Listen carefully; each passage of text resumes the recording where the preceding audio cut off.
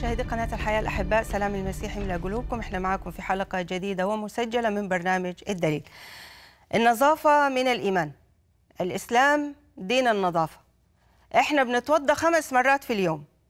دي شعارات الأحباء المسلمين لما بيكون في مقارنة بين الإسلام وأي دين تاني أو بين المسلم وأي شخص تاني. لكن هل الشعارات دي حتثبت ولا حتلحق بسابقاتها؟ ده اللي هنشوفه النهارده في حلقتنا. تعالوا مع بعض نشوف عنوانها. النظافة بين اليهود ومحمد. مشاهدينا بنرحب بوحيد ونبدأ نشوف موضوع النهارده. أهلا بك يا وحيد. أهلا فدوى وأهلا بكل الأحباء المشاهدين في كل مكان. الرب يبارك حياة الجميع. طيب خلينا نشوف على طول. أنا عارفة أنه المادة عندك كثيرة. نشوف حتتناول الموضوع كيف. آه، يمكن زي ما ذكرت أنت في المقدمة المسلم آه، هو آه، هم مفهمينه كده إنه بص أنت أحسن وأنظف إنسان في العالم. أنت شوف بتتوضأ كم مرة في اليوم. فاعتقدوا أن الوضوء للصلاة هو نظافة للجسد. طبعا أنا بتكلم عن تطهير الروح والضمير والفكر ده أمر تاني أصلا الإسلام ما بيعرفه. لكن إحنا بنتكلم عن الجسد دلوقتي. نعم. فحينما رجعت للمراجع الإسلامية لأرى الوضوء أرى الاستنجاء أرى أمور كثيرة. بيعتقد المسلم أنه كأنه هو مصدر هذه الأشياء. وجدت أمور فيها مفاجآت كثيرة للأحباء المسلمين النهاردة. مم. طيب خلينا نبدأ. لو يعني هو آسف يعني هو بيعتقد أنه هو أنظف كل البشر. نعم. مع أنه الواقع وواقع الدول الإسلامية واقع أمور كثيرة لا يقول هكذا بهذا الأمر يعني. وحينما أردت أن أقوم بمقارنة أحببت أن أقوم بهذه المقارنة لأنه اليهود ومحمد كان بينهم سجالات كثيرة جدا.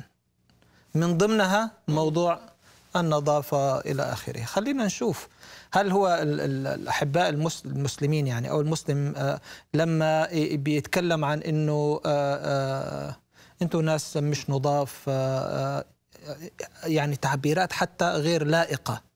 لأنك أنت ما ممكن تعمم. أنا صحيح. ما ممكن أعمم أنه كل المسلمين كده. صحيح. لأنه في في في في كل مجتمع من كل الناس من كل الأطياف نعم. ناس راقية وناس مهتمة بنظافتها الشخصية. صحيح. صحيح. على كل كان هو ده موضوع ال ال يعني العنوان بتاعنا النهارده وعايز أدخل مباشرة تفضل. للموضوع وأبدأ بهذا العنوان مفاجآت حديث النظافة من الإيمان. مفاجأة هي فعلا مفاجأة لكثير من الأحباء المسلمين مم. حديث النظافة من الإيمان اللي إحنا بنسمعه من وإحنا أطفال صغيرين صحيح صحيح خلينا نشوف الكلام ده مثلا الراوي المحدث بن باز في الفوائد العلمية من الدروس البازية خلاصة حكم المحدث خلاصة حكمه إيه؟ رفعه إلى النبي ليس بصحيح مم. يعني رسول الإسلام لم يقل هذا الكلام إطلاقا مم. أذهب إلى نقطة في ذات الأمر في تخريج أحاديث الإحياء العراقي العراقي للحافظ زين الدين العراقي في كتاب الطهارة. حديث بني الدين على النظافة؟ لم أجده هكذا. ما في شيء اسمه بني الدين على النظافة. تسمعي من الشيوخ؟ نعم. يقولونه للأحباء المسلمين. نعم. يحشو أدمغتهم. لكن هو خاطئ يعني إحنا لو استخدمنا حديث هنا مش مظبوط صحيح. بتقوم الدنيا صحيح. لكن هم عادي يستخدموه في المساجد.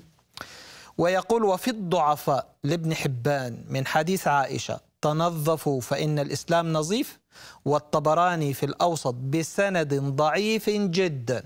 من حديث ابن مسعود النظافة من الإيمان. ده أول موضوع هو أنه النظافة من الإيمان مضروبة. نعم. فما فيش مسلم يطلع بعد كده يقول لنا النظافة من الإيمان دون أن يكون له يعني عكس هذه المراجع الإسلامية التي ربما تكون موجودة وأنا يعني لم أصل لها.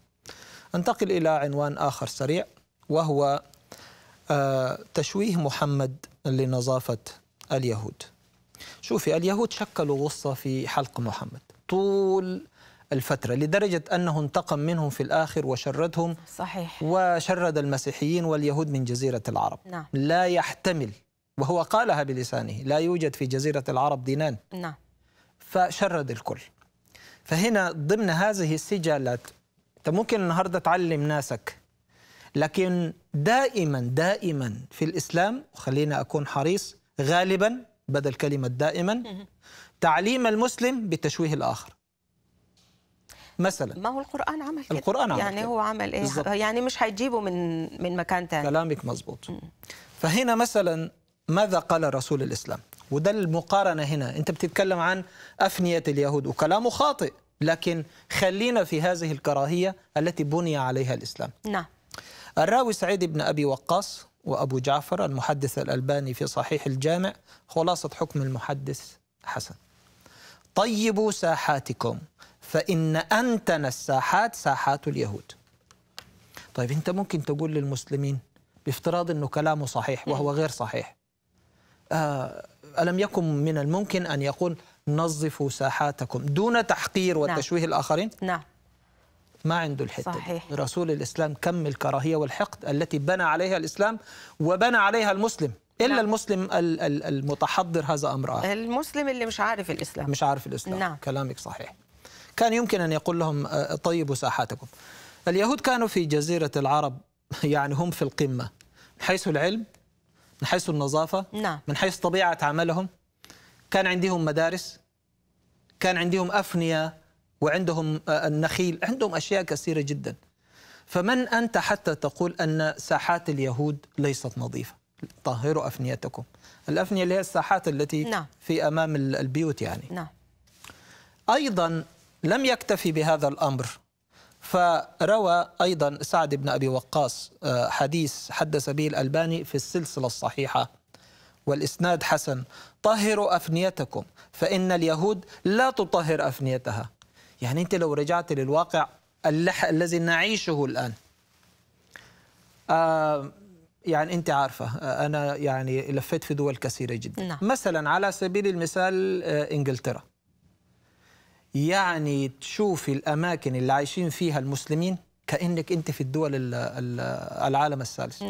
من حيث النظافة ومن حيث أمام البيوت وأفنية الشوارع التي نعم. هم فيها نعم بس وكأنك تنتقلي من حي إلى حي كأنك تنتقلي من الدول العالم الثالث إلى ال- العالم المتحضر الأوروبي مم. ورغم ذلك أنا لا أدري كيف لا يفهم المسلم هذه الأشياء الواضحة جدا آه، أنتقل إلى حديث آخر. آه، أيضا رواه نفس الراوي حدث به السيوطي في الجامع الصغير. صحيح إن الله تعالى طيب يحب الطيب نظيف يحب النظافة. تخيلي لما عقلية شخص يقول أنه نبي يقول أن الله نظيف. نعم. نعم. ما هذه العقلية نعم. التي لم يناقشها المسلم اللي لسه هو مسلم؟ صحيح.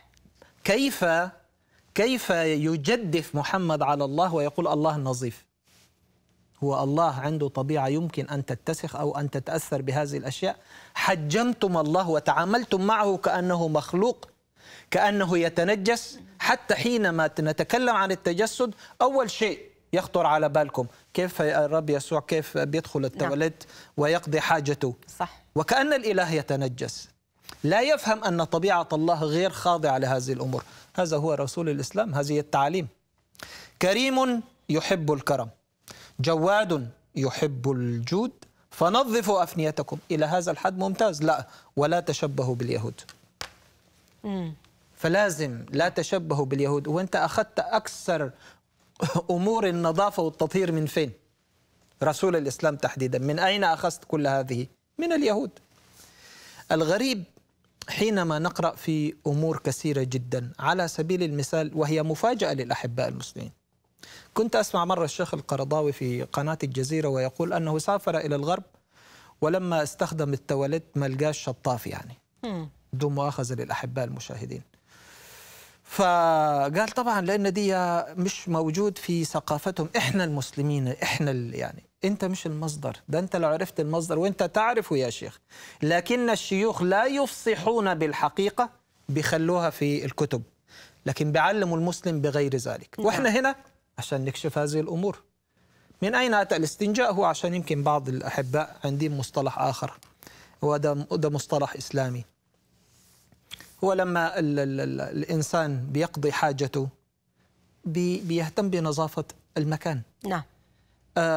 إذا كان ماء أو غير ذلك. وهنا أنا الحتة دي جزئيا حأتكلم عن الآسف في التعبير الغائط اللي هو يقضي حاجته. يعمل زي الناس زي ما بنقول. يدخل التواليت بيت الراحة بيت الأدب.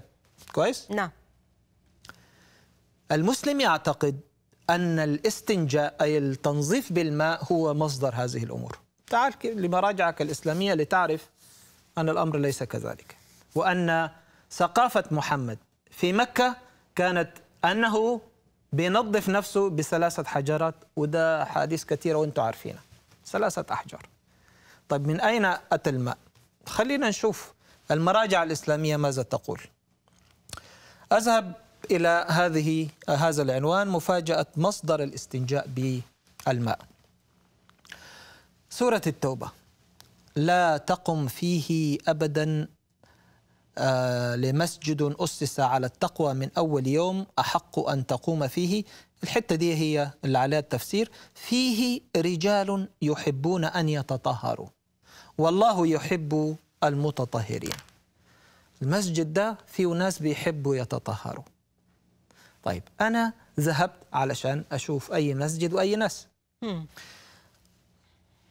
إلى التوبة وتفسير القرطبي. التوبة 108 نفس الموضوع ده نفس النص القرآني. حديث أبي هريرة قال نزلت هذه الآية في أهل قباء. فيه رجال يحبون أن يتطهروا والله يحب المتطهرين. قال كانوا يستنجون بالماء فنزلت فيهم هذه الآية. قباء دي بتقع جنوب المدينة. طيب. يعني مش مكة الهجرة إلى المدينة قباء دي ضمن الحدود الجغرافية للمدينة هي أقرب. فيها مسجد الناس اللي فيه لما بيستنجوا. بعد ما يقضي حاجته بيستخدم الماء. فإله محمد قال له أنا أحب المتطهرين المسجد ده فيه ناس حلوين جدا. طيب أنت مش عارف يعني التطهير بالماء؟ ما أنت لو عارفه ليه ما أمرت كل ناسك؟ نعم. لم ينتهي الأمر إلى هذا الحد. ذهبت لي أرى أكثر من ذلك يعني. من من أين أتى هذا الأمر أساسا؟ وجدت حديث حدث به ابن تيمية في حقوق آل البيت خلاصة حكم المحدث متواتر. أنه قال لأهل قباء لنفس الناس دول نعم. ما هذا الطهور الذي أثنى الله عليكم به؟ فقالوا لأننا نستنجي بالماء. يعني هذا الإله مدح أهل قباء. فمستغرب رسول الإسلام نفسه وليه الناس دول؟ أصله مش زيك. أنت بتستخدم الأحجار هم بيستخدموا الماء. أصله لا يمكن أن يقاس الحجر بالماء ولا حتى أي شيء آخر. الماء هو اللي بيطهر. نعم. الموضوع لم ينتهي. ذهبت إلى الطبري. قال النبي لأهل قباء إن الله قد أثنى عليكم في الطهور خيرا. خليكي من قالوا. وفيه نزلت فيه رجال يحبون أن يتطهروا. هنا إيه بقى في النص؟ كلام عجب. قالوا إيه أهل قباء؟ إنا نجده مكتوبا علينا في التوراة الاستنجاء بالماء. الله. يعني هم دول مسلمين ولا دول يهود؟ هو المسلم مكتوب عليه في التوراة؟ مم. نعم. من أين أتى هذا التعبير هذا لغز؟ فعلا لغز. مكتوب علينا في التوراة الاستنجاء بالماء. آه يعني أصل الموضوع التوراة. نعم. يعني أصل الموضوع اليهود. نعم. أنت ما كنت بتعرف الماء كنت نعم. تستنجى بثلاث حجرات. نعم. وهو أمر لا يمكن أن يؤدي إلى نظافة. نعم. لما ابتديت تشوف الناس دول الله دول ليه بيتطهروا؟ بتعملوا إيه أنتوا؟ نحن بنستنجى بالماء. الأمر لم ينتهي. لأنه ده لغز لازم يتحل. ذهبت إلى آآ آآ ابن كثير. فوجدت نفس الفكرة. فيه رجال يحبون أن يت- يتطهروا والله يحب المطهرين. فقالوا يا رسول الله إنا نجده نجده مكتوبا علينا في التوراة الاستنجاء بالماء. الأمر يزداد غرابة. المتكلمون مسلمون.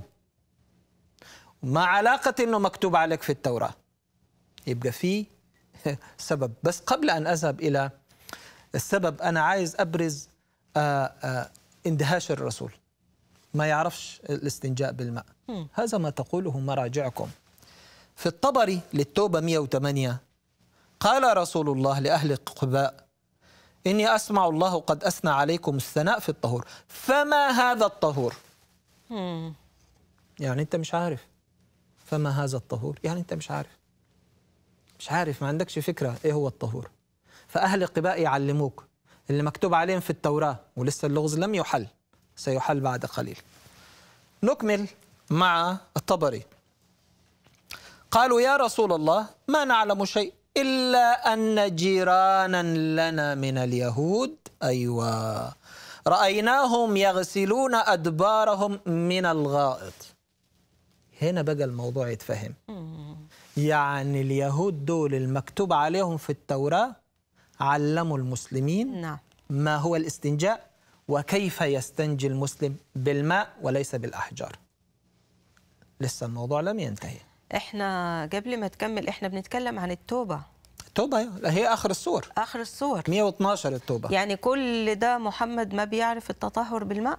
113 و112 حتى أكون دقيق. 112 113 المفروض. 113 نعم لأنه 112 سورة يعني المائدة. خلاص خلاص ما هو محمد خلاص فعلا. وقريب هو خلاص. هو يعني يموت. ومع ذلك إلى هذه اللحظة هو بيندهش في سورة التوبة 108 كمان. سورة التوبة نعم. يعني مش أول النصوص. نعم. وبيندهش و- وأنتوا ليه يعني مشار لكم بالمديح في الطهور؟ طيب أهو. جيرانا لنا من اليهود. نعم. رأيناهم يغسلون أدبارهم من الغائط. فيقول إيه اسمع المفاجأة بقى عزيز الم- المسلم.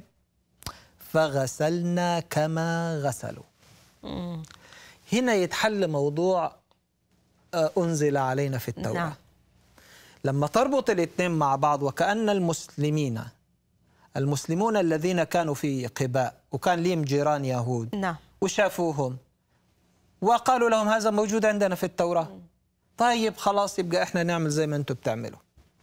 يعني أبسط الأشياء عزيزي المسلم التي أنت مخدوع فيها إنه ده دينك ودي عقيدتك أنت سارقة أو متعلمة. خلينا نحسن الموضوع شوية.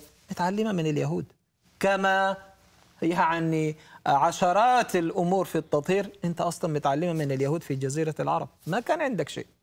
يا رجل من الأحجار إلى الماء. يمكن أن تقيس ذلك. لدرجة أني قرأت حديث صحيح مرة رسول الإسلام بيقضي حاجته وكان معه صحابي قال له شوف لي أحجار. لقى حجرين نعم. وبعرة. نعم. لما جابوا قال لا البعر ده أكل إخواننا. صحيح. الجن. الجن. إخوانه. صحيح. صحيح. يعني تخيل نبي من عند الله يقول إخوانه الجن. نعم. هم اخوان آه. ف ف آه. فبالتالي هنا أنت بتشوفي إنه إحنا أمام مصادر إسلامية تقول لنا كيف تعلم المسلم الاستنجاء بالماء. فهنا لم ينتهي الأمر. رأيناهم يغسلون أدبارهم من الغائط فغسلنا كما غسلوا. طيب آه، الأمر هنا الغريب إيه؟ إنه أهل قباء دول دول أنصار. مش مهاجرين نعم ومش جايين من مكة فكانوا بقباء في جنوب المدينة يعني كان في يهود في نعم. المدينة. نعم صحيح. وسورة التوبة زي ما ذكرنا متأخرة. نعم. وهذا يعني أن المسلمين كانوا يستخدمون شيء غير الماء في الاستنجاء. هل الاستنجاء بالماء كان غير معروف للمهاجرين؟ ده سؤال مهم. إزاي محمد بيستغرب ويقول لهم إيه هو الطهور بتاعكم؟ ويقولوا له الطهور بتاعنا هو بالماء. طب أنت ما عارف يعني. ثم بعد ذلك نقرأ النهاية. فما هي النهاية؟ طيب. القرطبي يقول لنا خلينا نشوف ده في البداية أن النبي الاستغراب برضو آه، أتاهم لابن كثير فقال إن الله تعالى قد أحسن عليكم الثناء في الطهور. فما هذا الطهور الذي آه، آه، تطهرون به؟ فقالوا وبيقسموا يا رسول الله ما نعلم شيئا إلا أنه كان لنا جيران من اليهود فكانوا يغسلون أدبارهم من الغائط فغسلنا كما غسلوا رواه ابن خزيمة في صحيحه. خلاص؟ يبقى إذا نعم. إحنا هنا الموضوع واضح. نعم. نأتي إلى النهاية بقى الحبكة. نعم. نجدها في القرطبي سورة التوبة 108 لما نزلت هذه الآية قال رسول الله لأهل قباء إن الله سبحانه قد أحسن عليكم الثناء في التطهر. فما تصنعون؟ بتعملوا إيه؟ قالوا إنا نغسل أثر الغائط والبول بالماء. نتوضأ للصلاة ونغتسل من الجنابة. فقال رسول الله فهل مع ذلك من غيره؟ يعني بس أنتوا بتعملوا كده؟ ولا في حاجة تاني؟ يعني حتى دي المفروض هو بيعلمها هو نعم. بيتعلمها نعم. من اللي تعلموا من اليهود. نعم. يعني الرسول يتعلم من تلاميذ اليهود. نعم. من صحيح. المسلمين تلاميذ اليهود أهل القباء يتعلم منهم محمد. كفاكم عن جهية وتعالي على البشر. اسمع ما يقول هذا النص. فقال رسول الله فهل مع ذلك من غيره؟ فقالوا لا غير ما بنعمل شيء آخر. إن, إن أحدنا إذا خرج من الغائط أحب أن يستنجي بالماء. قال هو ذلك فعليكم. خلاص. خلاص يا مسلمين هو ده اللي إحنا المفروض من بعد كده نعمله. إيه رأيك في هذه ال يعني ال- ال- المغالطة الكبيرة جدا اللي عايشها المسلم اليوم؟ نعم. وبين ما تقوله مراجعه نعم. الأصلية الحديث الصحيحه اللي إحنا ذكرناها النهارده. دي مشكلة المسلم أنا شايفة إحنا في كل السنين دي كلها هي مشكلة المسلم إنه جاهل بكتبه. والشيوخ بيصدروا له حاجات وطبعا زي ما أنت بتقول بيرضعوا وهم آه، يعني أطفال رضع بكره اليهود وما زالوا لحد ما الواحد بيكبر. هو الشيطان الأعظم بالنسبة له هو اليهودي. فمش غريب يعني دي ده نهج ده نهج. ومحمد نجح صراحة يعني. محمد نجح نجاح ساحق في الموضوع ده. في في أن يبني كراهية داخل المسلم نعم، تجاه نعم. كل ما هو غير مسلم. نعم. آه علشان كده في ضوء هذا الأمر يعني من يتشدق من الأحباء المسلمين بالنظافة هو لا يعرف صحيح. ألف باء حتى صحيح. في عقيدته. صحيح. أن ما تتشدق به من نظافة في الإسلام وهنا أوجه كلامي للشيخ عبد الله بدر اللي كان بيتكلم عن إنه المسيحيين مش نضاف. الشيخ عبد الله بدر في التلفزيون. نعم. طب أنت شيخ وأنت عارف البلاوي دي وعارف إنه رسول الإسلام اللي هو رسولك تعلم من تلاميذ اليهود. نعم. ليه ما بتقولوا الحقيقة؟ لماذا تخبئون الحقيقة وتصدرون أنفسكم وكأنكم مصدر؟ ما إحنا بنتكلم عن أمور بصراحة في الدين إنها لا بتجدي نفع يعني. يعني النظافة نظافة الجسد يعني مش هي اللي هتدخلك السماء. اللي يدخلك السماء إنك تعرف الحق والحق يحررك وإنك تكون من خلال الحق الإلهي نظيف القلب والفكر والضمير. ده هو الأساس.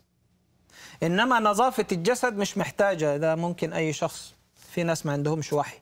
وأنظف دول العالم. صحيح صحيح. روح اليابان وشوف قطعة من القطن. فإذا آه، دي آه، آه، كان ال- الجزئية الأولى. عايز أنتقل إلى جزئية أخرى بسرعة. اتفضل اتفضل. أنتقل إلى هذا العنوان. مفاجأة غسل اليد بالماء. كم مرة ومتى؟ اللي هي برضو المسلم مش عارفة جات من فين. يعني حديث آه، آه، آه، مهم جدا آه، سنأتي إليه بعد قليل. لكن أنا عاوز أشير إلى النظافة في التلمود. شكلها إيه؟ طيب. مع أننا لا نؤمن بالتلمود. نعم.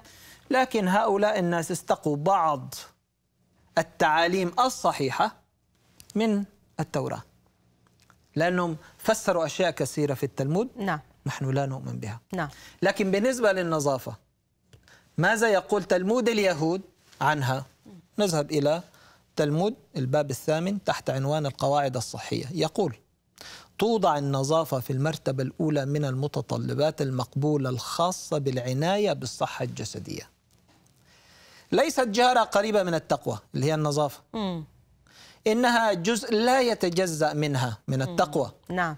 وتشكل المكان الرئيسي في التقوى فيها. ثم يقول اغسلوا ايديكم قبل الطعام. واغسلوا ايديكم بعد الطعام أيضا. من يأبى على نفسه غسل يديه قبل الطعام يجب فصله من الجماعة من الجماعة اليهودية. نعم. لكن ما لفت النظر أكثر ما هو قادم في التلمود. فماذا قالوا في الباب الثامن تحت عنوان القواعد الصحية صفحة 317 يجب غسل الأيدي فور النهوض من النوم. آه هنا في مشكلة. إذا ما تجاهلنا ذلك فسنسيء لصحتنا. ثم يقول اليد غير النظيفة تعمي البصر وتصم الأذن وتسبب الورم. اليد التي تلمس أي جزء من الجسم دون أن تغسل صباحا عند النهوض من النوم تستحق القطع. كل ده؟ كل ده. تبقى الأيدي خطيرة حتى يتم غسلها ثلاث مرات.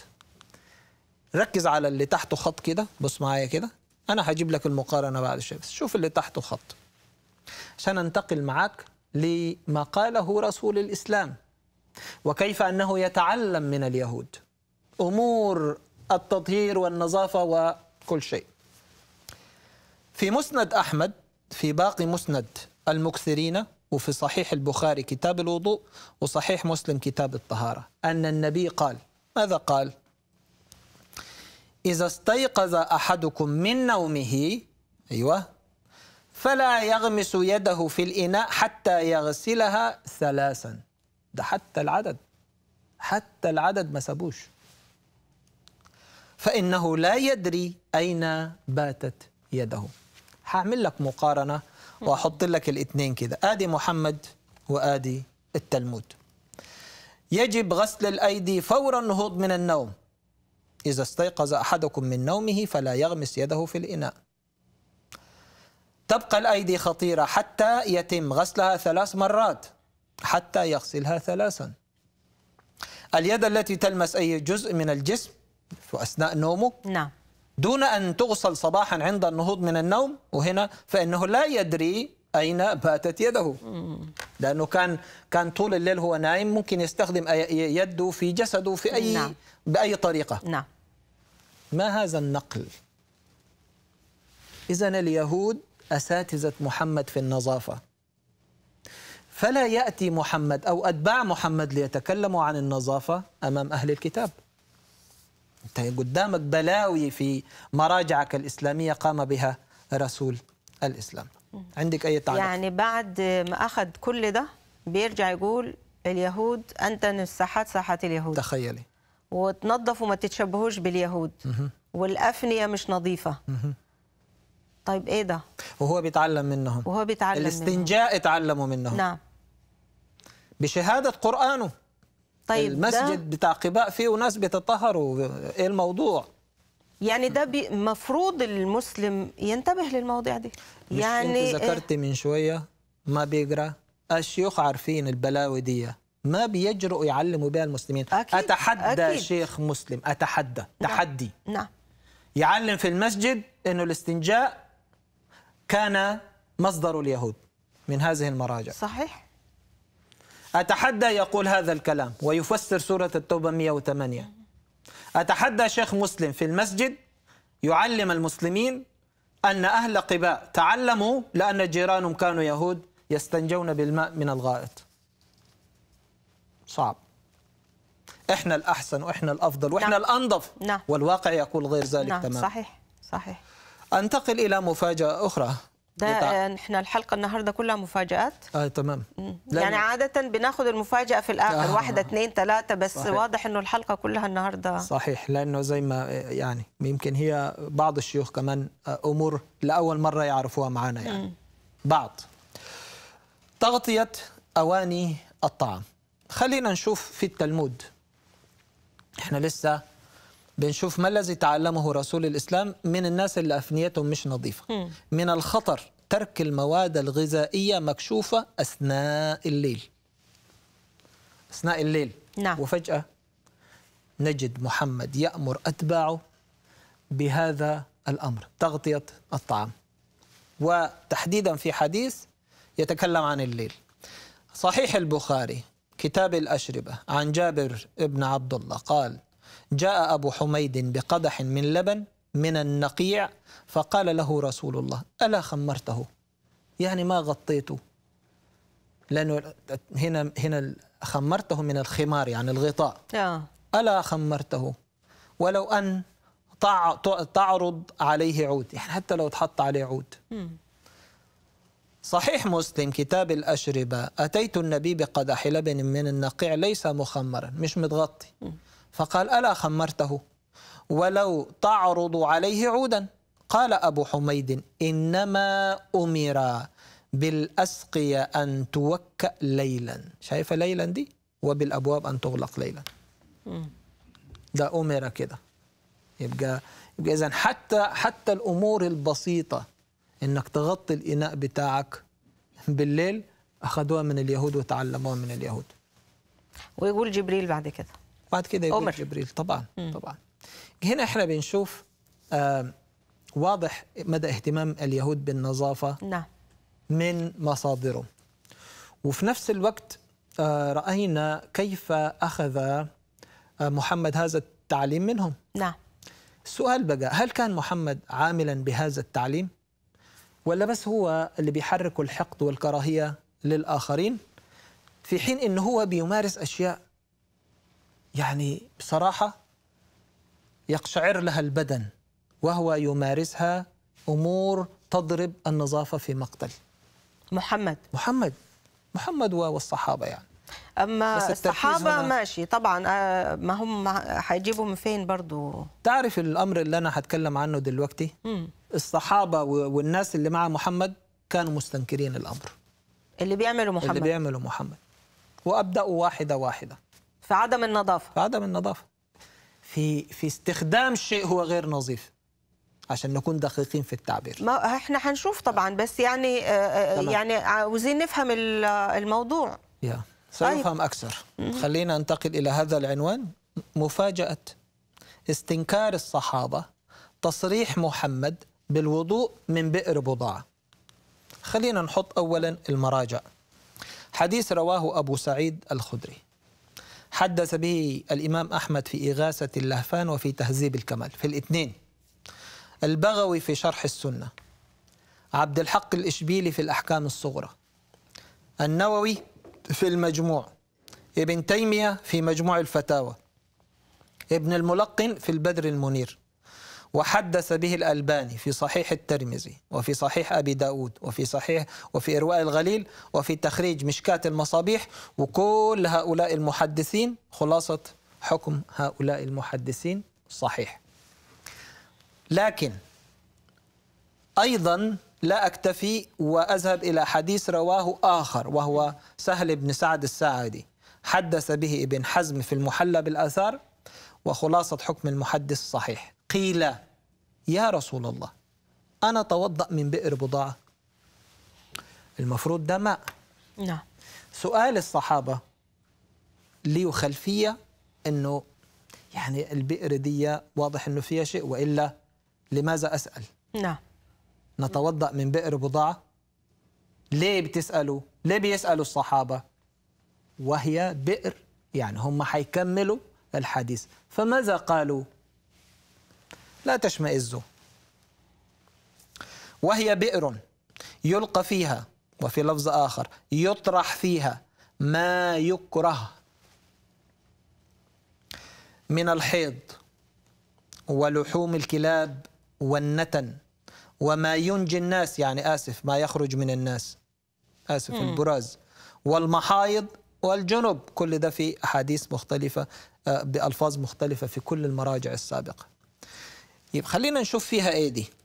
الحيض آسف يعني اللي هي الخرق اللي كانت تستخدم في ذلك الوقت. نعم. خرقة الحائط نعم. لحوم الكلاب الميتة نعم. النتن أي شيء نتن ومتسخ وعفن والناس اللي بتتبرز. المحايض والجنب. غسيل بماء الجنابة. نعم. اللي بيكون جنب يعني آسف إنه مارس الجنس وبالتالي هو بي بي بيرحب جسده وبينظف نفسه. كله ماذا؟ ده في البير ده اللي هم بيسألوا آه، نتوضأ منها؟ من البير دي ولا لا؟ مظبوط. هل نتوضأ طيب. منها أم لا؟ يعني أنا- يعني المفروض ده أصلا ما يتسألش السؤال ده. مظبوط كلامك. يعني أنت كل ده وممكن ت... ت... يعني آه، لسه بتسأل؟ لسه بتسأل ده أي طيب إله ده اللي بيستحق كده؟ مستنكرة السؤال.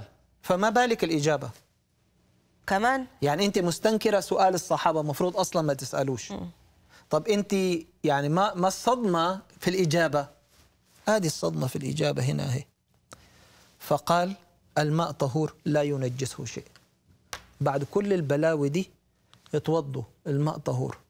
سؤال الصحابة دلالة على أنهم كارهون. وقال الحديث صحيح. ما يكره يطرح فيها ما يكره. كارهون صحيح. بفطرتهم صحيح. الإنسانية. صحيح.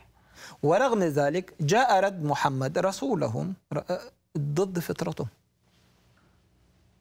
طيب أنتقل إلى درجة أعلى. الآن هو الوضوء للصحابة. طيب موقف محمد. طب أنا بس معلش عشان الحتة دي مهم إن إحنا يعني يعني هل الله يستحق إنه أنا لما أجي أتطهر وأقف قدامه حصلي؟ أروح أتوضأ بماء ده المنظر بتاعه يعني المفروض المفروض دي حتى على مستوى النظافة البشرية لأنه في وضوء وفي وضوء واحدة بالضم وواحدة بالفتح مم. واحدة للصلاة وواحدة لل ال- حتى لو أنا. حتى لو خلينا على مستوى يعني إن الشخصية إحنا النهارده إحنا النهارده لو أي مسلم النهارده لما بيجي طالع يقابل مديره أعتقد إن هو بيستخدم صابون ريحته حلوة بي- بيحط ريحة حلوة.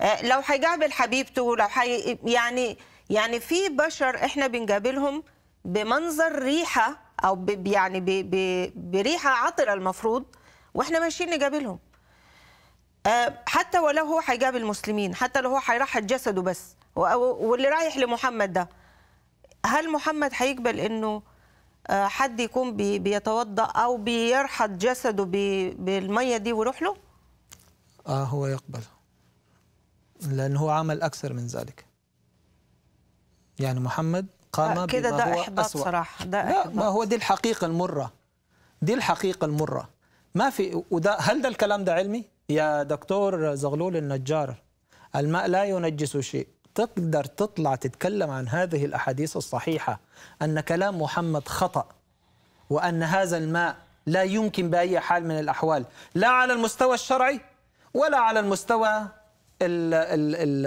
الطبي الصحي. الصحي إنه نعم. هو نظيف. نعم. بأي حال من الأحوال. أنت بتقول الجنب يجب أن يكون في طهارة لل- للجنابة. طيب ده أصلا ما م- يعني فيه ل- وفيه اللي رحض جس فيه البلاوي كلها. فأنت على أي أساس؟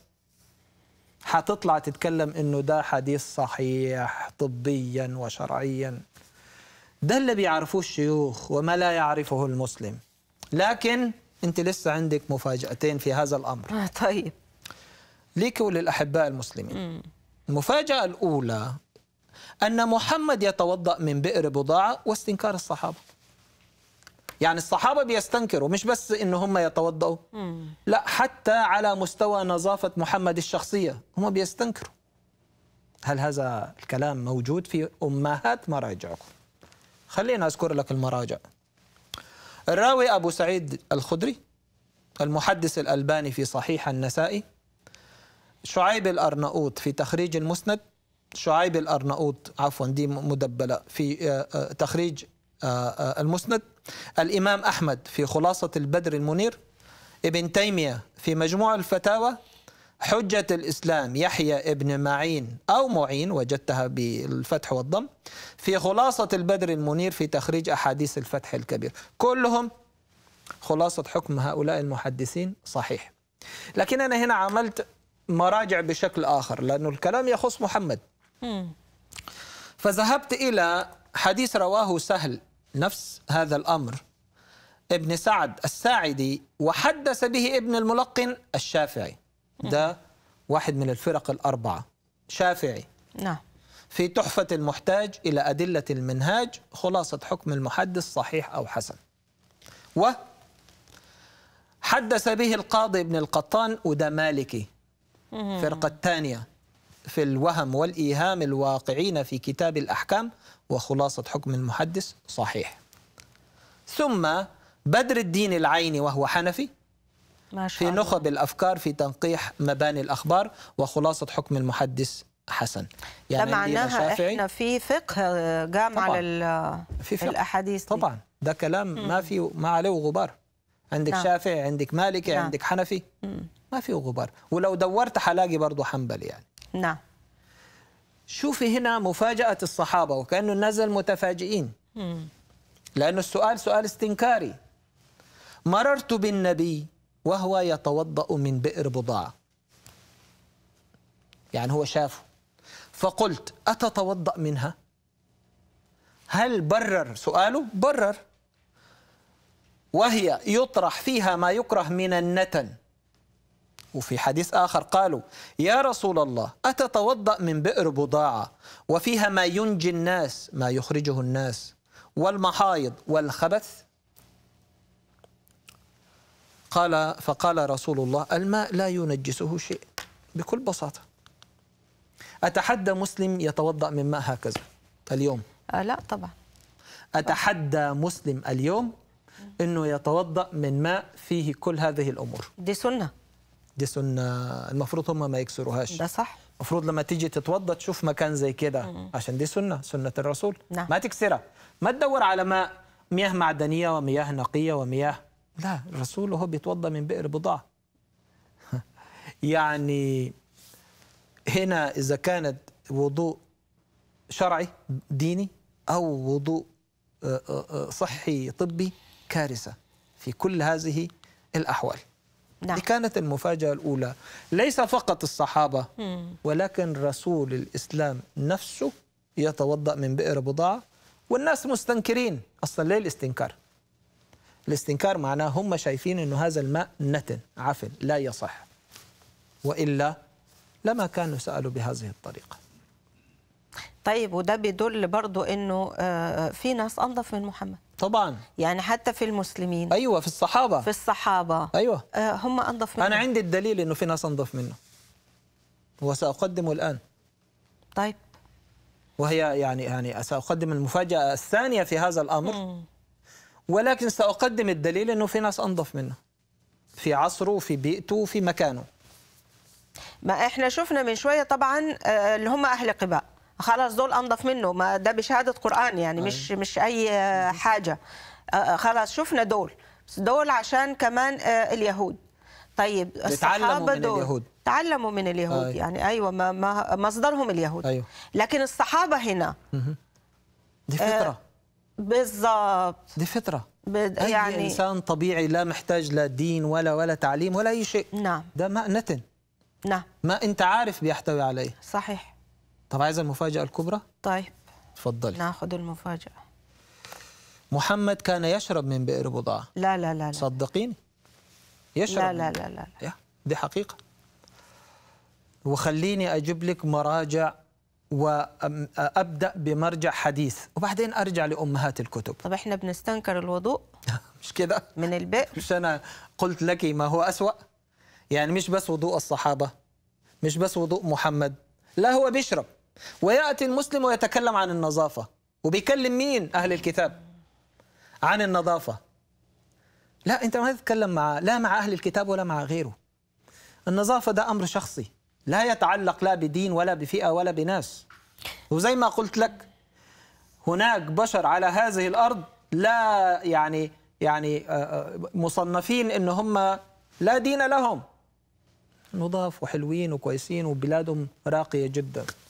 بلاش عنجهية على الناس وبلاش تفتحوا مواضيع هي عليكم وضدكم والكلام للشيخ عبد الله بدر تحديدا لأنه هذه عنجهية وأنت تعرف أن رسولك كان يشرب من هذه البئر في وجود هذه الأحاديث من العار أنك تتكلم عن أي نظافة في الإسلام هو دلوقتي المسلم المفروض آه، يعني ما يروحش لأي حد يتكلم عن النظافة يروح. لمحمد على طبعاً. طول طبعاً. خلاص طبعاً. انت بتروح للناس تقول لهم الإسلام نظيف آه، أو أنتم مش نضاف أو لا روح لمحمد الأول اتكلم وقول له ده يا عزيزتي هو الواحد لما يشيل شوية مية يغسل إيده ووشه ويديه وأقدامه هي دي النظافة؟ هي دي النظافة؟ مش نظافة والشيوخ يقولون هذه ليس لها علاقة بالنظافة لأنك أنت تأخذ حمام وتطلع أنظف يبقى ده أنت عندك مجرد حكم شرعي لا علاقة له بالنظافة. فعلى أي أساس بتتكلم معانا عن النظافة؟ أنك بتنظف نفسك. نعم. طب ما بتنظف نفسك؟ نعم. النظافة أرقى من كده بكثير. وليس اليدين والوجه والقدمين هي هي الجسد. لا ده حتى الاستنجاء أنت تعلمته من اليهود. طيب ما هو بيتوضا خمس مرات محمد. وبيشرب من بئر بضاعة. أيوه. وبيتوضأ من بئر بضاعة ممكن. بيتوضا منه. ما هو؟ آه، يعني ما دي هي النظافة؟ ما هم بيقولوا له أتتوضأ من البئر وفيها النتن وفيها. طيب يعني أنت خمس مرات بتتوضأ من بئر بضاعة آه. وبتشرب منها. أيوه. وبعدين نظافة. ده ده التناقض اللي عايش فيه محمد وورثه للأحباء المسلمين. بس خليني أبدأ بكتاب حديث. لم يستنكر الأمر وأنا استغربت. هذا الكتاب هو لنزار أباظة اسم الكتاب في مدينة الرسول. وكان بيتكلم عن هذه المدينة في أمور كثيرة الحالة الاجتماعية وتكلم عن المياه. فأنا ذهبت إلى موضوع ال- المياه آه، وهو بيتكلم عنها في صفحة 61 للي يحب يرجع. قال كانت مدينة الرسول تستهل بها مياه الأمطار في سقي أرضها الخصبة إلى جانب الينابيع وعيون عدة وأبار متفرقة وقد أمر رسول الله أن يشن عليه في مرض موته ماء من سبع آبار مختلفة. كويس؟ ومن أغزر آبارها بئر روما في وادي العقيق المبارك وكانت لرجل غفار وقيل ليهودي واشتهرت بئر حاء في قبلة المسجد. ومن مشهور آبار المدينة بئر بضاعة وهي التي كان يستقى منها لرسول الله غالبا. إلى آخر الآبار. ومنها بئر السقيا إلى آخره. أنا يهمني بئر بضاعة دي. اللي بشهادة المراجع الإسلامية كانت هي البئر التي يستقى لرسول الله منها غالبا. غالبا. مم. طيب وأنت في هذا العصر الحديث يا سيد نزار أباظة يعني ما سألت نفسك كيف الرسول بيشرب من هذه البئر؟ لكن على كل الرجل لم يأتي بشيء من عنده يعني. الرجل رجع إلى المراجع الإسلامية. فخلينا نرجع إلى المراجع الصحيحة التي قالت أن رسول الإسلام كان يشرب من هذه البئر النتنة العفنة اللي فيها كل هذه الأمور. لا تتكلموا عن النظافة. وعندكم هذه الأمور هذا أمر مخجل بصراحة.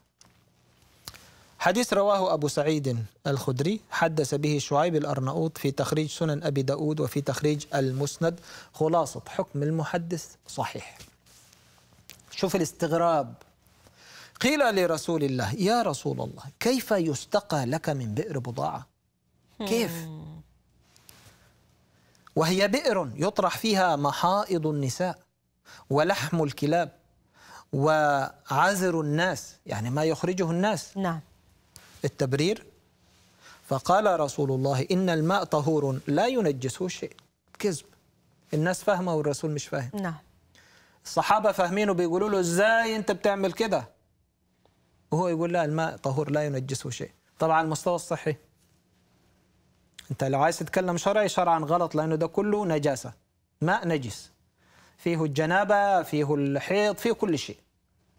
يعني انت بتقول له متوضأ وتطهروا من الحيض ومن الجنابة وانت بتستخدم الماء اللي فيه جنابة وحيض عشان تتطهر بيه؟ يعني اعقلوها يا مسلمين اعقلوها. نعم. نعم. أنا ذكرت لك من منذ قليل إن أنا عندي الدليل إنه في ناس أنظف مني. صحيح. نعم. الضربة القاضية بقى في هذا الأمر. مم. هذه هي مفاجأة الشرب من بئر بضاعة بين النساء ومحمد. طيب. مفارقة.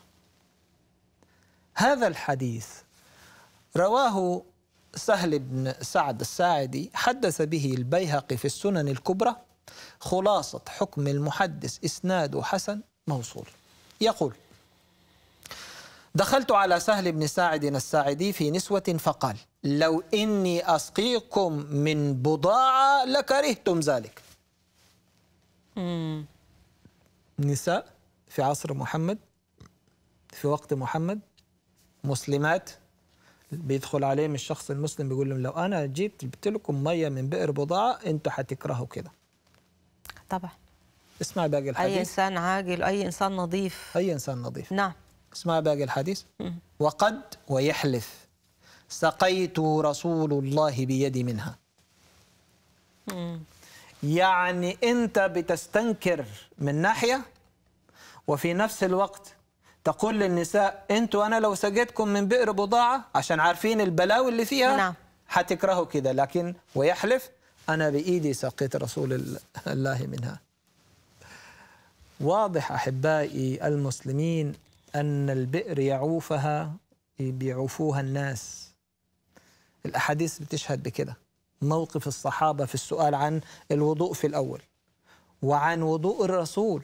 كله استنكار. وعن شرب الرسول. والآن النساء ما عايزين يشربوا. عشان ما تقول لي دي بيئته ودي مجتمعه هو في نساء في مجتمعه نضاف يا أخي. ما بيشربوا من بئر بضاعة. فواضح إنه الأمر معروف ومنتشر أنها بئر نتنه نعم. عفنة. لأن مياهها تجمع كل هذه القذورات نعم.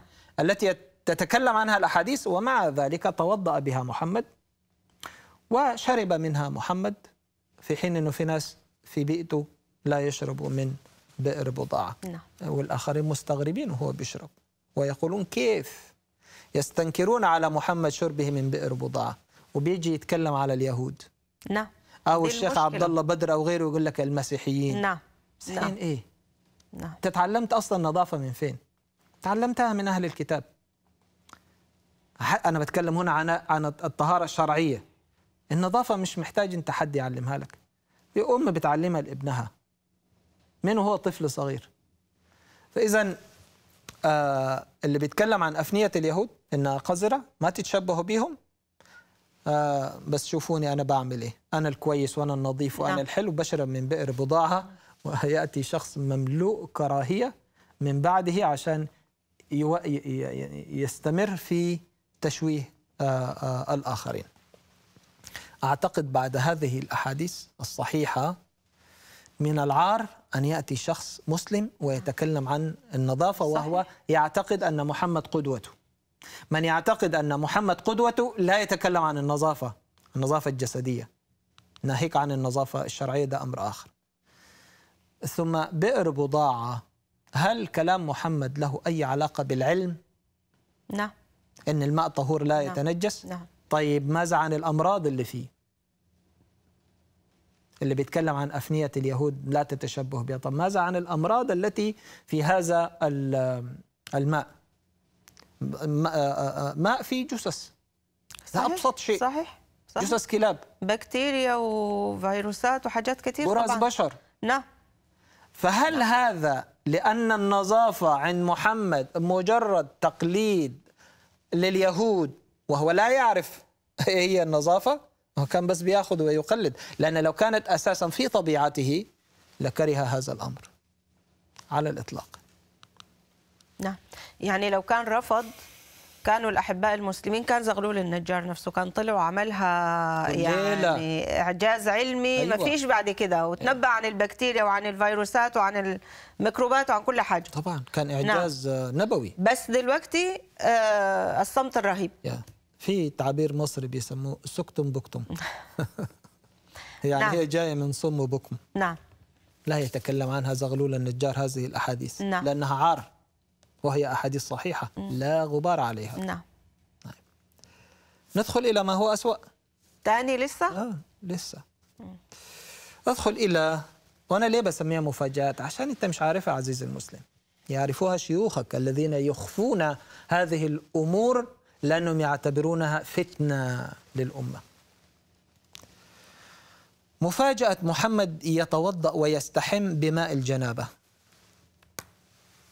يعني مثلا زي كده يعني زي طشت مثلا مم. واحد يغتسل من الجنابة نعم. لأنه يعني كان مع آسف في التعبير كان مع زوجته أو ز- زوجة كانت مع زوجها وتروح تستحم في طشت. المية اللي في الطشت دي شرعا نجسة لأن ده ماء للتطهير من النجاسة. نعم. ده أمر شرعي المفروض في الإسلام.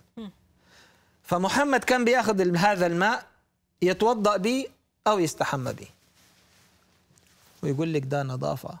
كان نظيفا ما فيش بعد كده.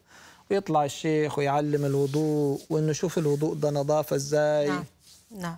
الوضوء لا علاقة له بالنظافة. النظافة أفضل وأرقى من ذلك بكثير. خلينا أدخل للحديث. تفضل. أمهات الكتب. حديث رواه عبد الله بن عباس حبر الأمة. حدث به الهيثمي في مجمع الزوائد ومنبع الفوائد رجال ثقات. حدث به بن جرير الطبري في مسند ابن عباس حدث به شعيب الأرنؤوط في تخريج صحيح ابن حبان حدث به ابن حبان في صحيح ابن حبان حدث به أحمد شاكر في مسند أحمد حدث به الألباني في إرواء الغليل وفي صحيح ابن ماجه وكل هؤلاء خلاصة حكمهم على الحديث أنه صحيح. ندخل للحديث بقى؟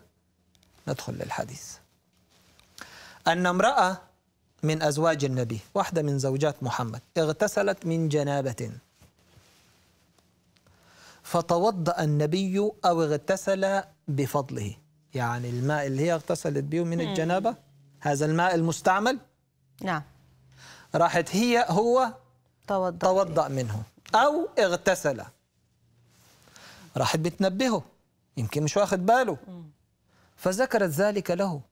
خلي بالك انت بتعمل إيه؟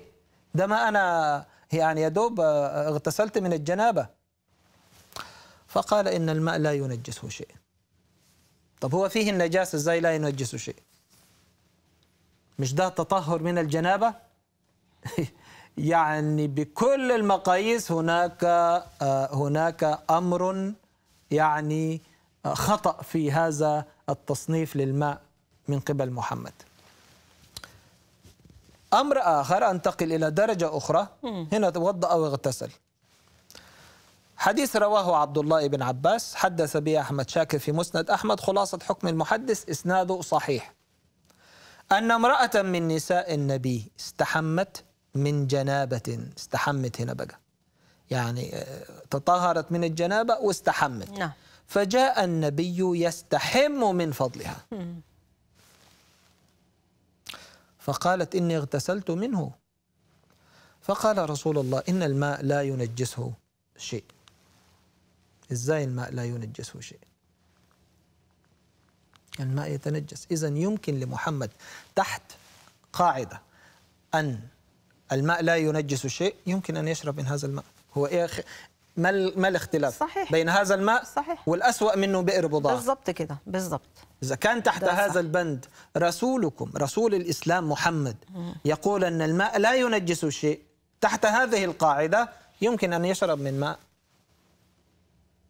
التطهير من الجنابة. وهو قدامكم. إذا كان شرب من ما هو أسوأ. فيه النتن وفيه وفيه فيه اللي هو بئر بضاعة.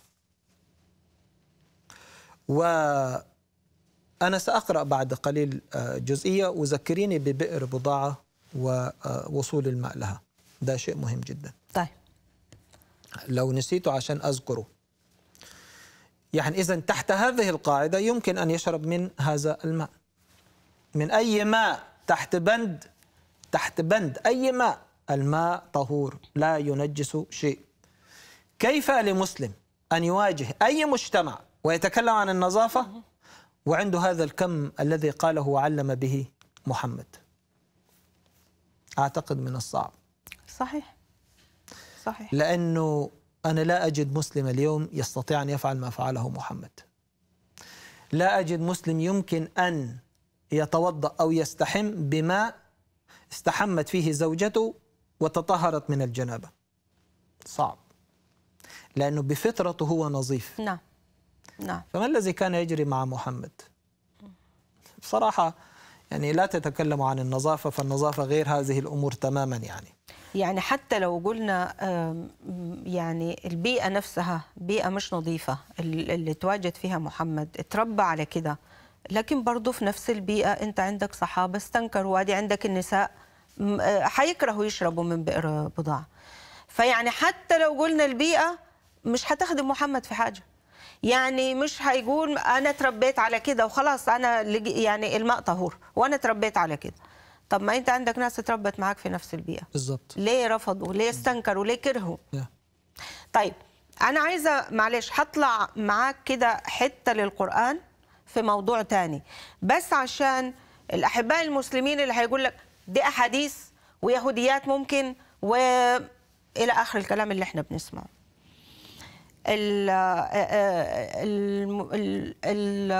الوضوء شريعة الوضوء لما ما فيش مية بيعملوا إيه؟ يعني أمرهم بإيه؟ استخدموا التراب. ترى صح. يتيمموا صح؟ صح. تيمموا صعيدا طيبا أيوه. حسب ما أنا آه، صح. يعني أتذكر. طيب التراب ده نظيف؟ هل ممكن نسمي ان التراب نظيف؟ التراب ممكن آه، عدى عليه بدون مؤاخذة يعني كلب تبول عليه آه، عمل حاجات تانية آه، يعني قطط الناس بتمشي بأحذيتها يعني كل ما حتى حتى هناك في الجزيرة العربية التبول والدواب في كل حتة يعني وكل حاجة. يعني اذا التراب نفسه مش نظيف عشان صحيح. انت خلاص ما فيش مية طيب إحنا نروح لل للتراب. اذا حتى القرآن كاتب القرآن اللي هو إحنا بنا يعني هو محمد ما فيش غيره بيسلك نفس السلوك. يعني انت هنا الماء آه، طيب آه، هو مش نظيف مش ما فيش حاجة بت آه، نجسه تنجسه. ورحت هنا لما ما فيش مية طيب لشيء تيمم. أسوأ منه. يعني الماء اللي ما فيش شيء بينجسه رحت لشيء متنجس وسمحت بيه. يلا آه، تيمموا واستخدموا التراب. يعني اللي أنا عايزة أوصل له إنه مش عشان دي أحاديث يبقى محمد في ناحية تانية هو نظيف. ده القرآن نفسه. بيوجهك لل... للشيء اللي مش نظيف إنك أنت تتوضأ به صحيح أتفق معك تماما لأنه لا يمكن إنه آه، آه، تراب يطهر إنسان. نعم تراب يطهر إنسان. ياخذ التراب ويدعك به وشه ويدعك به يديه ورجليه ويقول لك أنا بقيت طاهر. نعم شرعا. نعم طهارة شرعية. على أي أساس؟ هو التراب حيطهرك شرعا؟ فدي كلها أشياء أتفق معك تماما إنها في النهاية تصب في عقلية واحدة. صحيح. أو نتجت منها عقلية واحدة. صحيح. هي عقلية صحيح. رسول الإسلام. فما يقولوش إنه دي أحاديث لا لأنه انت تتكلم القرآن للقرآنيين مثلا. لكن المسلمين العاديين هم يعترفوا بهذه الأحاديث. طبعا طبعا طبعا. بس أنا كنت عايز طالما دخلنا هنا قبل أن أقرأ آه، تفسير الحديث ده بتاع اغتسلت آه، واستحم هو من الماء ده آه، تفسيره في الدرر. أنا عايز أتكلم عن بئر بضاعة. لأنه بئر بضاعة هم يعني ال- ال- التفسير إنه ما كان المطر بينزل وبينتقل عن طريق جداول فهذه الجداول فيها الكلاب الميتة والحيض آه. و وكل ده يصب في البير. وكأنهم يحللون الأمر. طب ما هي في النهاية باعترافكم إنه البير دي مش مجرد واحد ولا اثنين ولا ثلاثة برمي دي لما بلاوي الدنيا كلها مطر جاي يصب في البير. جاي بالخيران جاي بالخير كله يعني. وصبوا هل ده حيطهر الماء؟ يعني هم بيحاولوا يخرجوا من الأمر إزاي؟ وحتى وإن كان صحيحا إنه ده أصلا البئر دي هي أصله ميت مطر. مية مطر. أنا تربيت في مكان فيه نفس هذا الكلام. كان بس إحنا بنسميها فولة. فولة يعني مكان يجمع الماء. نعم. وكان الماء يأتي ماء المطر في الخريف ويملأ هذه الفولة جايب معه كل المشاكل. وكمية القذارة والنتانة اللي كانت في هذا الماء. إحنا ما كنا بنلمسه بأصابعنا لأنه شايفينه. وكم الضفادع اللي كان بتتوالد فيه. ده أمر نجس نتانة معروفة. لكن كيف يشرب منها؟ هذا أمر فعلا يعني يندى له الجبين بصراحة. يعني إحنا بنشوف في كمان آه، الناس اللي هم بيحبوا يتجولوا كده في في البلاد ويسافروا من مكان لمكان على رجليهم أو على آه، أي دابة مثلا أو حاجة. وبنشوف لما بيحتاجوا للمية وبيلقوا مكان فيه مية فيه حشرات. صح. إيه اللي بيحصل؟ تصفية وبيغلوا المية ع- لأنه ما فيش قدامه غير ده. صح. يا ده يا يموت. فبيعمل حاجة. بيصفي مظبوط، الميه بي مظبوط. وأك... يعني أنا أعتقد الثقافة دي موجودة في كل العالم. صحيح. م- آه، يعني ثقافة إنك تصفي الشيء اللي أنت رايح تشربه يعني. مظبوط. فأنا مش عارفة صراحة إيه ده ال- على كل وإحنا بنتناول موضوع النظافة ما قرأناه الآن عن رسول الإسلام بأي شكل من الأشكال هو عكس النظافة مش بعيد. لا لا هو عكس. يعني الشيء اللي غير نظيف هو اللي بيعمله. دلوقتي شفناه بيستحمى بماء نعم. الجنابة. نعم. فأنا رجعت عشان أشوف التبرير بقى في الدرر السنية طيب. والدرر السنية دول ناس معاصرين معانا يعني. فقالوا كان النبي نعم المعلم والمربي لأمته. وقد يسر على أمته وعلمهم بالقول والفعل أمور دينهم. بالقول والفعل. ومن ذلك أمور الطهارة وما يتعلق بها. وما الماء الذي يصح التطهر به وما الذي لا يصح به. هو بعد كده ممكن يكون في ماء يصح. أو لا يصح بالأصح يعني. وتطلق الجنابة على كل من أنزل المني أو جامعه. طيب. فتوضأ النبي بفضلها أي بفضل الماء المستعمل في الغسل. مم. يعني الماء اللي هي استعملته. نعم. الماء اللي نزل منها. نعم. اللي أخذ العرق بتاعها والوساخة بدون مؤاخذة اللي في الجسد. كل نعم. إنسان نعم. جسده يتسخ. لا لا والجنابة؟ بالذات ال- البيئة اللي هناك طبعا. كلها رم- رمل وتراب. بيئة سخنة و- صحيح وعرق وغيره. نعم نعم.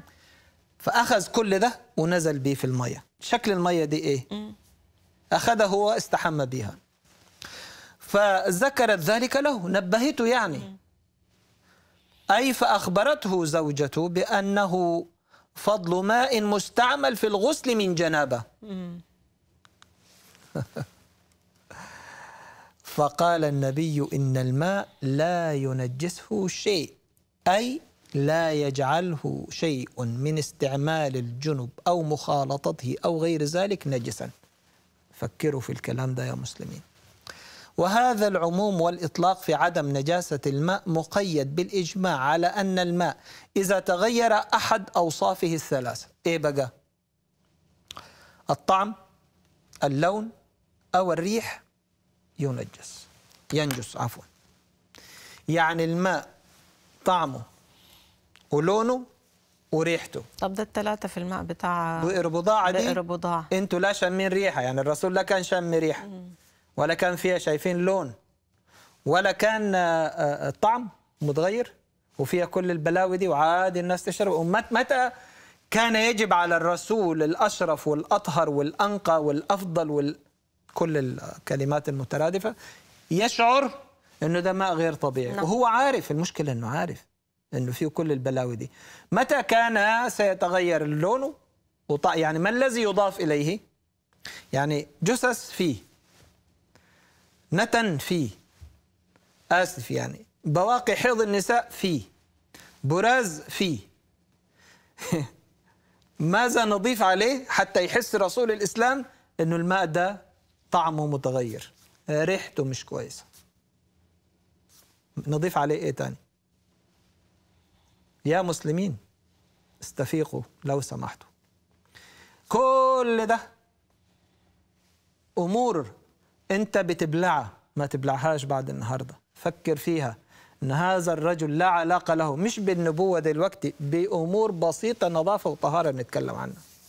سيبك من الأمور الأخرى. فيها خبث فيها قذارة فيها أشياء كثيرة جدا. نعم. عايز أشوف فيديو لواحد بيتكلم عن الطهارة الشرعية. وخلينا نشوف نقيس بئر بضاعة والاستحمام من الماء النجس. دلوقتي والماء اللي فيه جنابة. أنا ما أعرف الجنابة تطهير. تطهير من ماذا؟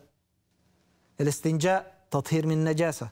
طيب كل ده شربه الرسول وتوضأ به طب إزاي بيتوضأ بماء نجس؟ مش الجنابة نجاسة يا شباب يا مسلمين. خلينا نشوف فيديو رقم واحد ونرجع مرة أخرى. هل هناك في ارتباط ما بين الطهارة والنظافة خارج معنى التعبد شيخ؟ خارج هو معنى طبعا الطهارة الطهارة النظافة شرعية.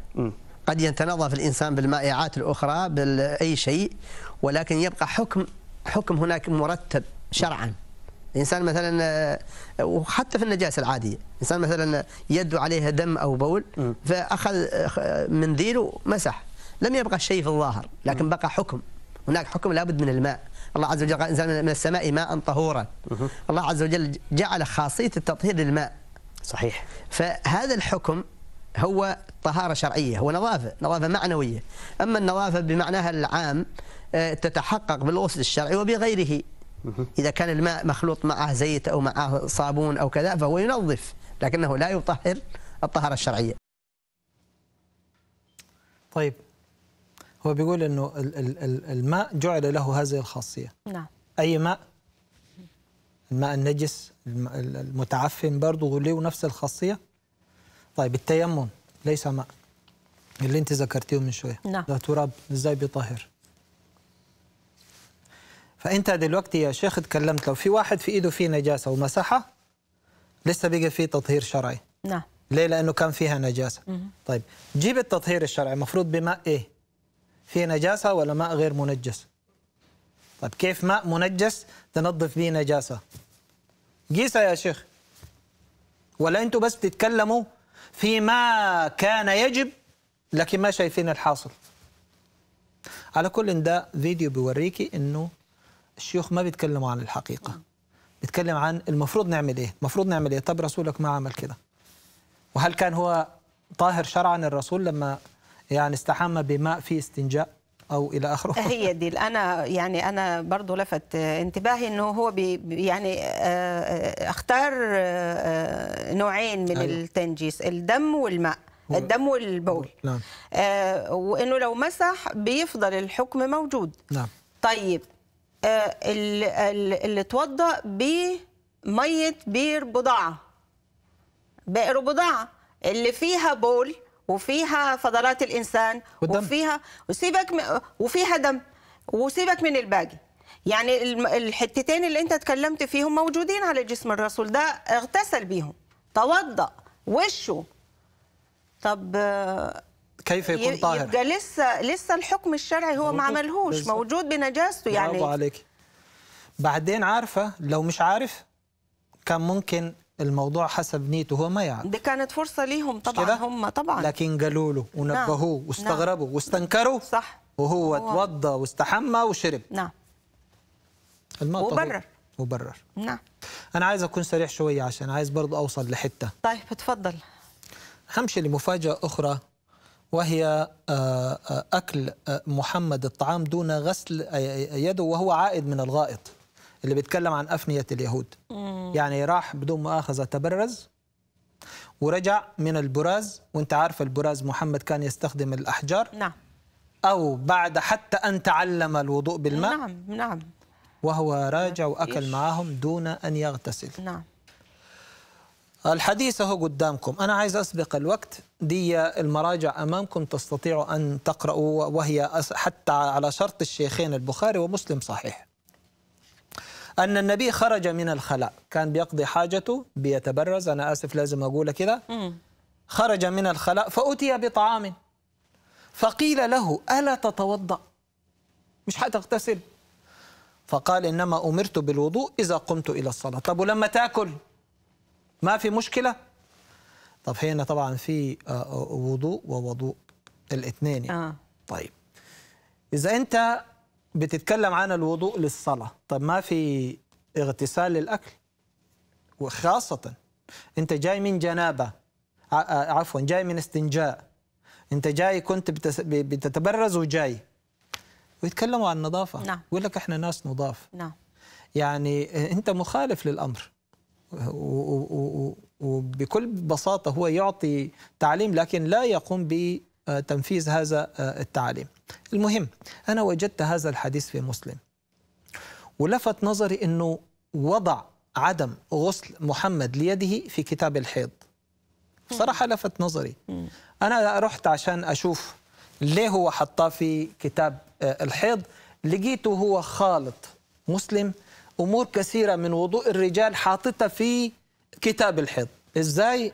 ما أعرفش. لكن وأنا هناك أبحث عن السبب لفت نظري اسم الباب الذي فيه هذا الحديث فوجدته كالتالي آدي صحيح مسلم كتاب الحيض حاطه في كتاب الحيض أن النبي قضى حاجته من الخلاء المهم قرب إليه طعام فأكل ولم يمس ماء.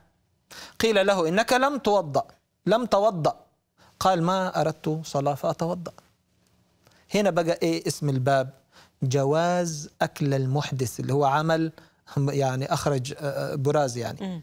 جواز أكل المحدث الطعام وأنه لا كراهة في ذلك وأن الوضوء ليس على الفور يعني مش دلوقتي لازم يغتسل يعني دلوقتي. الأكل أولى. الأكل دلوقتي وبعدين طب هتاكل بدون ما تغسل يديك وأنت جاي من الغائط من البراز. في إيه يا مسلمين؟ في حد فيكم بيعمل كده النهارده؟ لا يمكن. لكن ده رسولكم سنة المفروض أنتوا تقتدوا به. بدل ما تبقوا تن- تنتقدوا في الآخر وأنتم مش عارفين البلاوي اللي عنديكم. عايز استرسل شوية في هذا الأمر.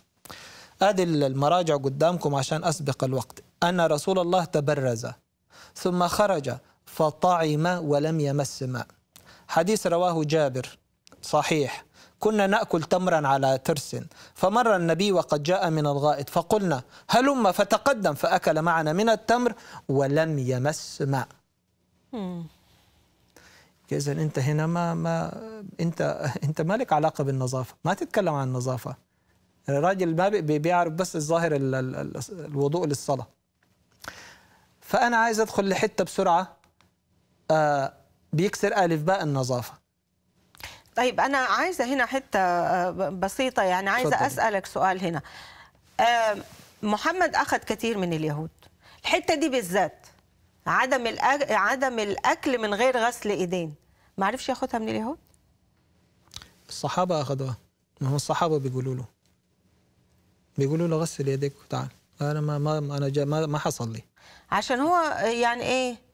يعني الكلام بحروفه يعني بياخده من صحيح. اليهود واليهود لو هم راجعين من السوق صح أنا مش عارفة أنت يغتسلوا لا لا حت- صح إن لم يغتسلوا لا يا ما- وكان في حوار مع. المسيح في الحتة دي لانهم فاكرين اليهود إنه الغسيل بيطهر القلب والضمير المسيح قال لهم لا ليس كل ما يدخل إلى الفم ينجس الإنسان النجاسة الروح والفكر نعم. النجاسه الروحية نعم فهم ماخذين لا تطهير روحي فالمسيح نعم. قال لهم لا أيوه بس أنا الحتة اللي أنا يعني عايزاها هم وهم راجعين من السوق يعني مش مش آه، من الغائط صح, صح كلامك من صح السوق. صح.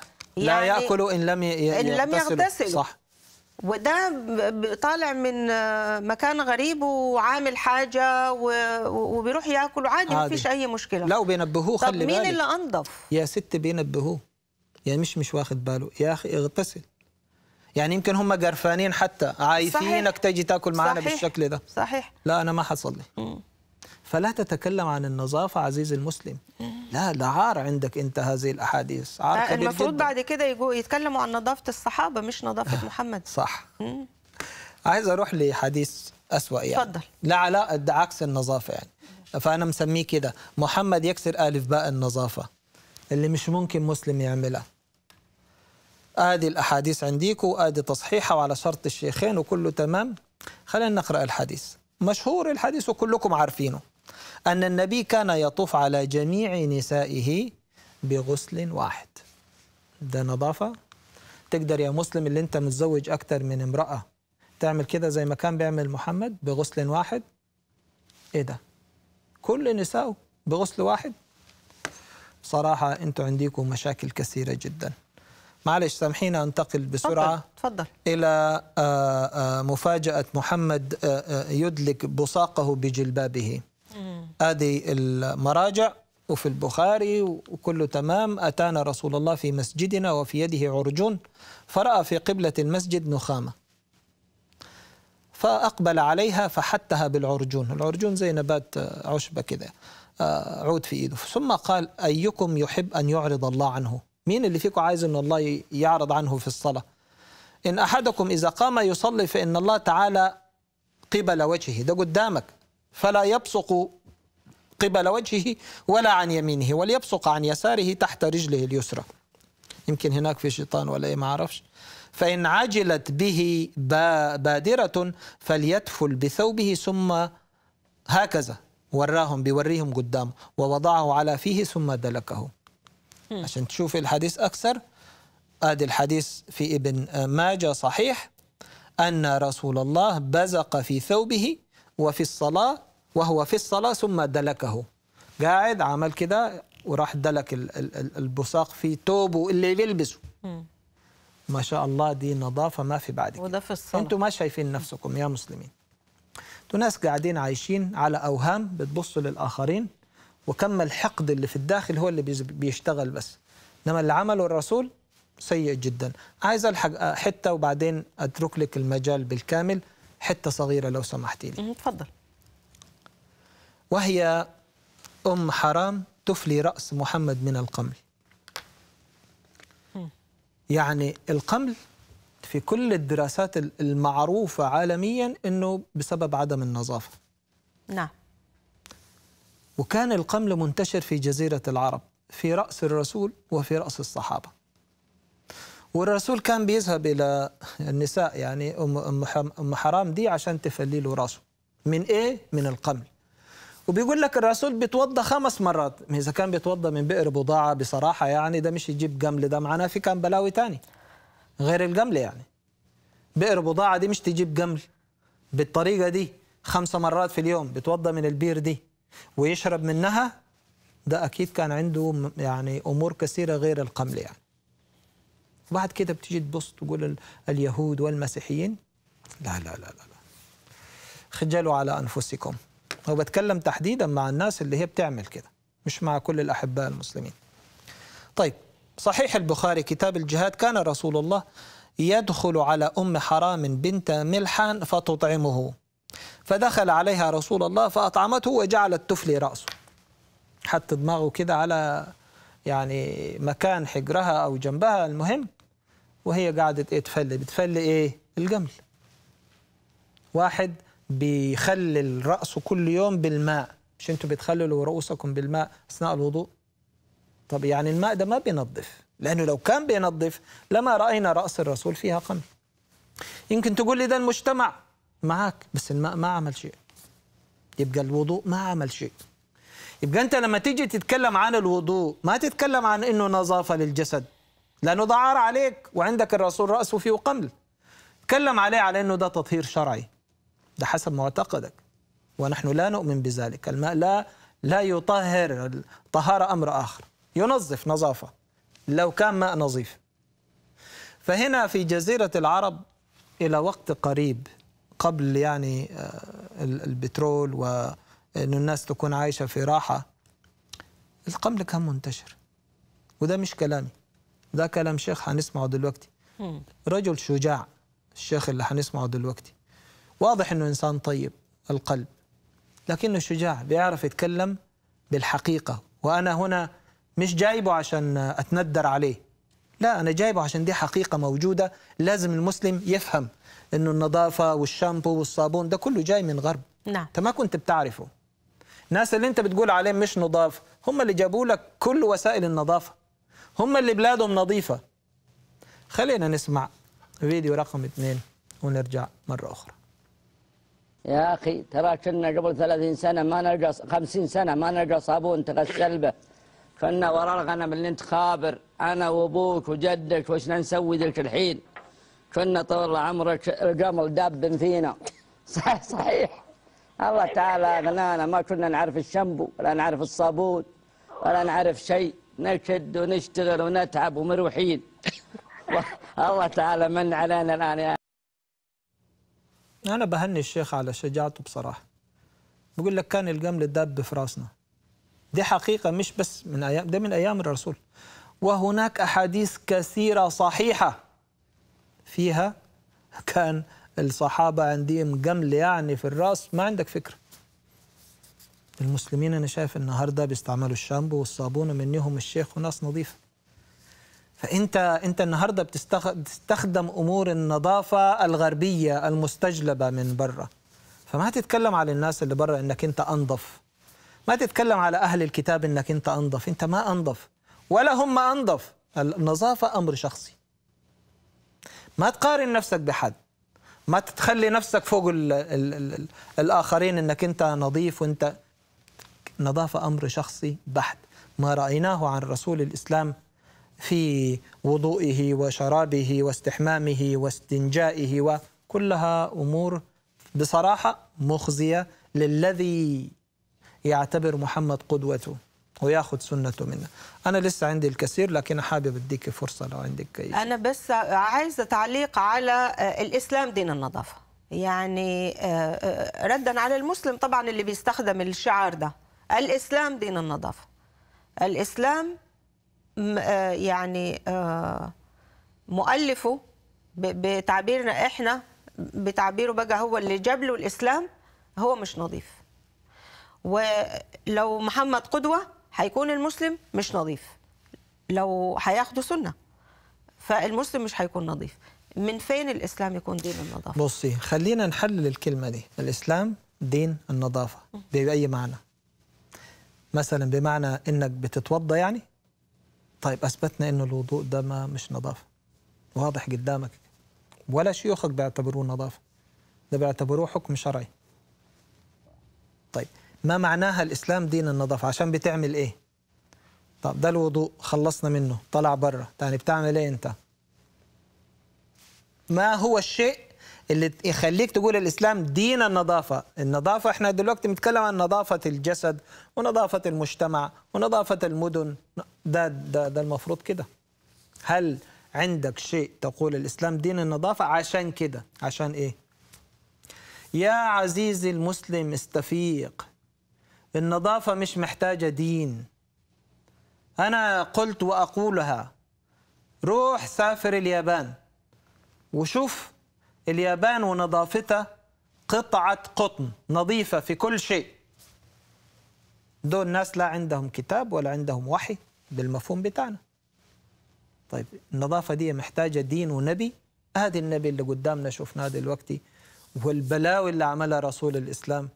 ويكفي بصراحة أنه يشرب من بئر بضاعة. هذه كافية جدا. كافية. فبالتالي التحليل المسلم يجب أن يجلس مع نفسه والشجاع هو من يواجه نفسه بالمناسبة. الشجاع مش اللي بيواجه الآخرين. الشجاعة تبدأ بمواجهة صحيح النفس. صحيح. والذي ينتصر على نفسه أولا هذا هو الشجاع نعم. البطل. نعم. ما معنى الإسلام دين نظافة؟ وفكر فيها. أعتبرها يا أخي هذه هي رسالة اليوم. لماذا الإسلام دين نظافة؟ عشان أنت محشو دماغك بشعار أجوف. وهكذا. كل شعارات الإسلام كلها عبارة عن شعارات جوفاء تدخل تحتها تلاقي لا شيء. آسف ربما عندك أي شيء. لا ما عندي حاجة. أنا بس يعني أنت ذكرت الحتة دي من شوية إنه آه، الأحباء المسلمين آه، ال- الأحياء اللي بيكونوا موجودين فيها في دول الغرب معلش مع احترامنا للجميع يعني بتبقى يعني أسوأ ال- الأحياء. آه، أو واحدة من أسوأ الأحياء. فهو الإسلام لو هو نظيف المفروض أنت أولا مدينتك نفسها دولتك نفسها المفروض إنها تكون نظيفة. أفنيتك. أفنيتك تكون نظيفة. آه، وبعدين لما تطلع برا المفروض تكون أنظف من الكفار. صح. مش تكون أنت دخلت على مكان نظيف وأنت اللي وسخته. يعني أنا آسفة في التعبير. تبقى أنت اللي آه، خليته مكان قذر.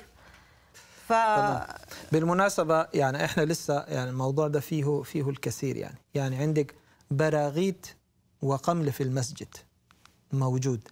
عندك آه، آه، محمد يأمر صحابة بأنهم يشربوا ماء بصقوا من وجهه من فمه. موجود. يعني معلش آه، سامحني وإحنا خلاص ب آه، يعني وقتنا خلاص.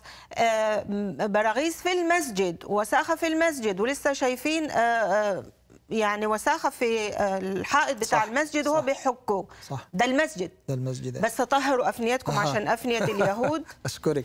انتن حاجة أشكرك. طيب شكرا. ليك. شكرا لكم مشاهدينا. المسيح يبارك حياتكم. صلوا لأجلنا كثير زي ما إحنا بنصلي لأجلكم. وبنعمة المسيح نشوفكم في حلقة جديدة.